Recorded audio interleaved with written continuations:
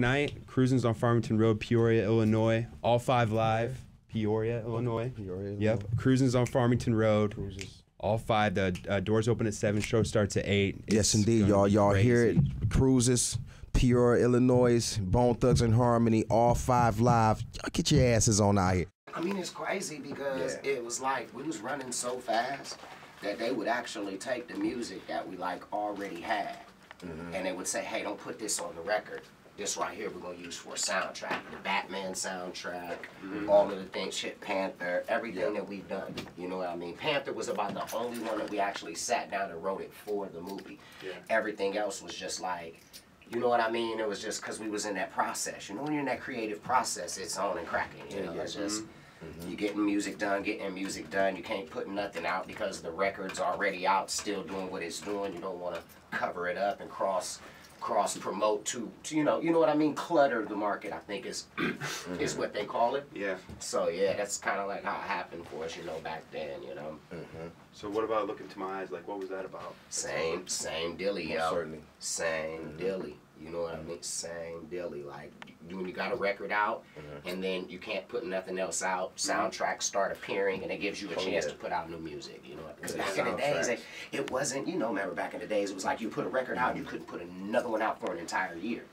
And that's just how the company was, because they needed three quarters to market it. You put one out in September. At least Yeah, at least three quarters. six, at I least feel like- six months. I feel like Right. I- Well, at minimum, Six right. months, yeah. I feel like I already know you guys because I watch so many Bone interviews. You know, and that's really enjoyable for me to watch. I mean, I've probably seen the documentary probably a million times. You know, Yes, sir. especially wi- within the past couple weeks since I knew Oh, you yeah. guys were Awesome. coming. Yeah. But yeah, it's I like I love watching those interviews. And I don't see anybody else doing as many interviews as you do. Yeah, we got to run, man. mean, you. So do you ever get sick of the same questions over and Mm-hmm. over, or do you? I mean, it's it's it's it's, it's well, it, you can't get mad at it being routine.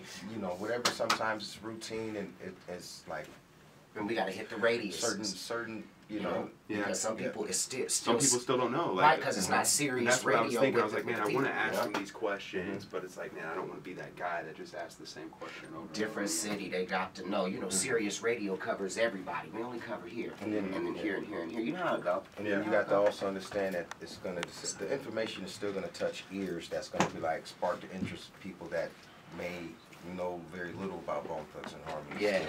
still. So, you, So- you, you live with it. You Are you guys um? Are you guys working on a new album?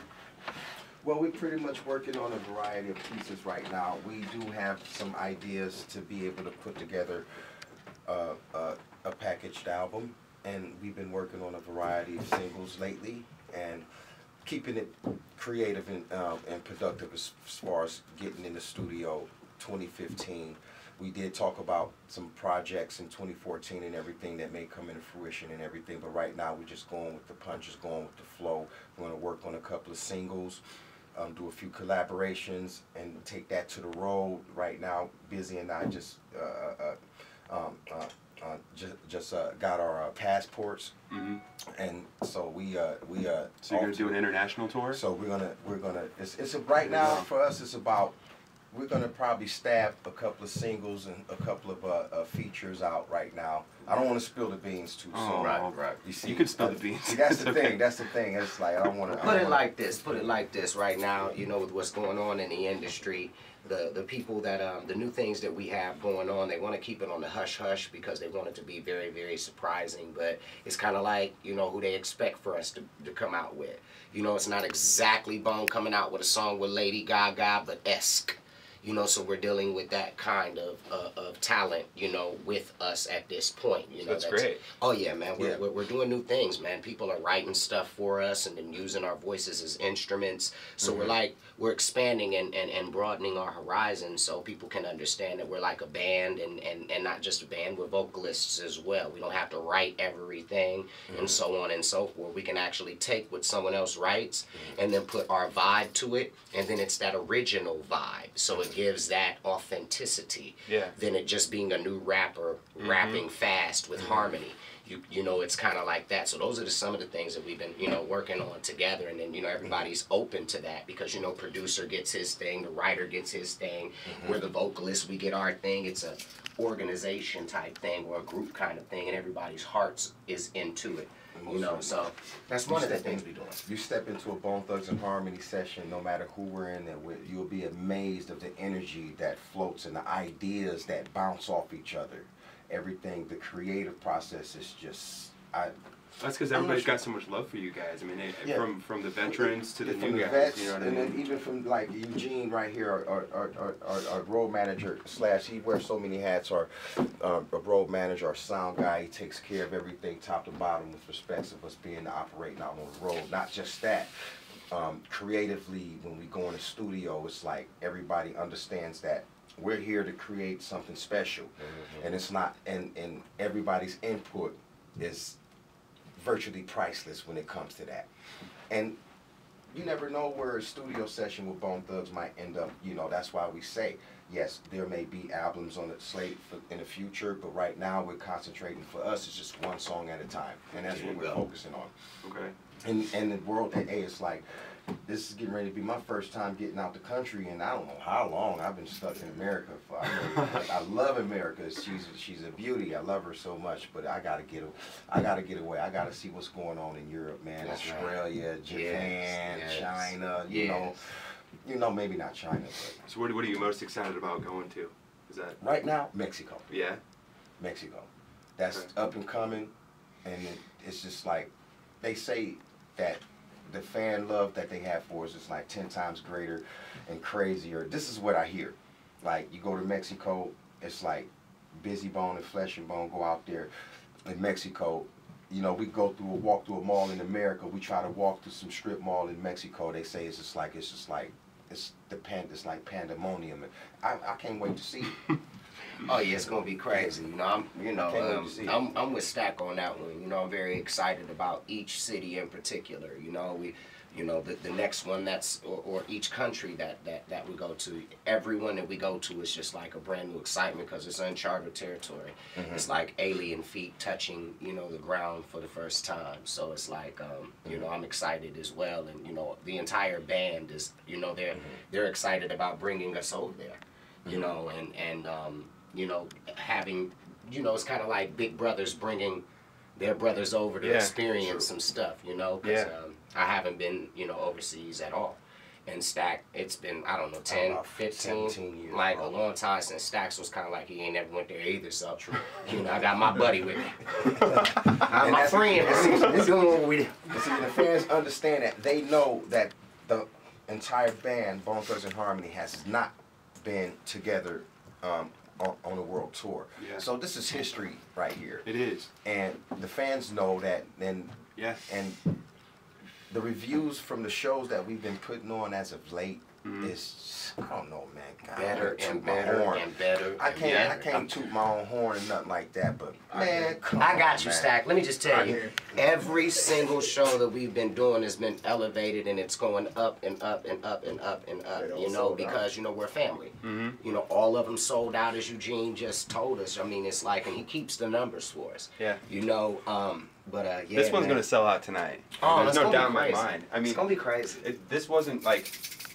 I almost feel like you guys weren't supposed to be here. Like you're too big for this town of Peoria. You know what I mean? No, you. But it's gonna be like, and it's such, you know, it's not a huge venue. It's a smaller venue. Mhm. It's gonna be like you guys are performing in our living room. You know what I mean? Like Mhm. you're gonna be like right there. Like even right now, you guys are right here. And like this is like such a historic moment. And even like You know? being in Peoria, how, how, am I saying that right? Yeah, Peoria. Peoria, yeah. It's like being in Cleveland. It's like being in Los Angeles. It's like it's it. Uh, we fans state that type of stuff every night. I can't believe you guys have come here. Like as if like we gotta hit the market. When we hit in the market, we're gonna hit the market. We're gonna hit the the uh, the places that people would not expect. Oh, why wouldn't people expect us to come here? We're a touring group. We're a Yeah. touring band. Mhm. It's just like going to Hungary or something like that, or Cologne over there in Mhm. Europe or whatever like that. Yeah. And you know what I'm saying? It's the Mhm. same thing. We have fans that this we need to touch every day all here. over. This is a this is a big. This doesn't happen every And I'm day, gonna tell you, know? this is the home of the great Richard Pryor. Yes. And, oh, So Yes. it's like Wow. we Yeah. all grew up on him. Mhm. You know, we all snuck to listen to his records and Mhm. stuff like that. And Mhm. so, yeah, man, it, that's you know when we roll into the city that's the red carpet right there. You know, all the accolades and accolades and the, and the people that actually come from this part. You know what I mean? So Peoria rocking too, baby. Y'all rocking too. Bizzy Bone, you've been here two times. Yes, You've sir. been here uh, ten years ago on the riverfront. They did a summer jam. You and Wish, him and Wishbone, mm -hmm. and uh, that was, I mean, there was like two thousand people there. It was incredible. Yeah. And then I think uh, when I was in high school, uh, you came to a, a gym, and you're, you're performing, and it was one of the best performances I've ever seen. But uh, I got to open for you, and I was this long, and I got it on tape. Is it itty bitty dude, huh? I was little, and it was horrible. It was the worst rap you've ever heard in your life. Oh my god. and uh, but yeah, it was a great. You know, it was Yeah, you unbelievable. gotta give me that tape over there, man. Put that up, post Yeah. that up for. You know, it. Yeah. I, it's on. It's, Fast you know, it's on. VHS. You like, you know. Oh, it's on VHS. We need to flip it. Yeah, I oh, would- yeah, yeah, Yeah. yeah. It There's only plenty costs of a few bucks to flip it. Right. You know, they got the technology. You take them. So, so you guys started off as the Band Aid Boys. Right? Well, I mean, well, th- this is kind of how it broke down. You know, Stack and, and, and Krayzie, well, excuse me, Flesh and Bone, Krayzie, and Layzie Bone. Mhm. They started off as the Band Aid Boys. Mhm. And they kind of basically made this group, you know, from that scratch. These are the original ingredient, ingredients. Wish and Bizzy, myself, we later, we were later on. But the Band Aid Boys was like elementary school Stack. Take Yeah, it from there. elementary school. Man, we was like itty bitty dudes trying to. I can remember we trying to. I, I was like nine or ten years old when I actually put a pen to a piece of paper, and literally tried to do something. You know what I'm saying? And uh, Run DMC being the the great in my eyes Yeah, at that are. time, and um, Absolutely. you know, you know, elementary turned in. You know, to uh, then- then the Fat Boys came along, and then this thing called the beatbox started getting big and we started beatboxing and everything. you still so- beatbox? A little bit. Yeah? I'm a little bit rusty right now because What of the you, show Bizzy? last night, but you know, but You beatbox? you know, we Uh, beatbox. uh, no, no, I, I would do the singing. Why they beatbox, I do the singing. I'm kind of good. I, got- I got a little something, something, but I, nothing on um, Flesh and Lay. They were always. So me and Lay was the beatbox dude. They used to call us the Twin Towers because we used to supply the beat and everything and let you know everybody kick it in and get the rapping, battle rapping and everything. But you know we flexed the pen and the pad too and. Uh, and uh, but yeah, junior high school, kicked it off. Junior high school, some youngsters, uh, Band Aid boys. We was a little, you know, winning a little, you know, the contests and everything and stuff like that. We used, you know, and then the, the uh, eventually the Band Aid boys eventually turned into Bone Enterprise. hmm Bone Enterprise, still local phenomenon. Were they were they No. picked up by then? No, Did they yeah, pick you up by Bone, then? but yes, Bizzy, yes, Bizzy, yes, Yeah. yeah, Bizzy. Yeah, well, well, Bizzy the way it tiny, was- the too. way it was going was Bizzy while the- too, when we first How old were you? Well, I was like, uh, 13. 13, Yeah, I was 13 when we all I was met. like, I was like 16? when I first met Bizzy. Yeah, because I'm only three years older than Bizzy. Yeah, you're like 16. Yeah, and um, I'm three years older than you, right? Yeah, you're like 16. Yeah, 16. Yeah, Yeah. so you were 13. He was Right. still tiny. Yeah, tiny nonetheless. Mhm. But he Little was mass. part of the crew. He came in, Bone Enterprise now, right? Yeah. So still kicking ass, the, the local phenomenon and everything, kicking ass. Put out all our first record, Faces Yeah. of the Death. Mhm. You know what I mean? And it was like, like he said, it was a local phenomenon. And we, you know, we wound up taking that record back in 90, what, two or 3 Mhm. 91. Okay, so in '91 we took the um, we took that record with us down to Los Angeles Mhm. and stayed out there for eight months. You Mhm. know, went to different people's cribs and so on and so forth. And we finally got a call from the man himself. You know, Yeah. may rest heavenly, um, Easy E. Yeah. And uh, Mhm. it's been crazy ever since. It has been crazy. Like so then, seriously. so then uh, he came into the picture, and you guys put out a song "Thugs in Harmony." And at the time, you were Bone Enterprise, and that's how you got turned into Bone Thugs. Well, Thugs see, in the whole thing was Bone Enterprise was a name that we couldn't use because we didn't know nothing about um, what do they call it? Patenting. What do they call it? Like Yeah, we like- couldn't patent the name because somebody else Sure. had that name. Oh. An, an establishment in, in Texas or something like that had that name, some huge building. So we were just Bone at Yeah. that time, Okay. and because that was all of our last names. And then you know it, he was asking, well, how do you guys explain your style? It's like we're thugs in harmony.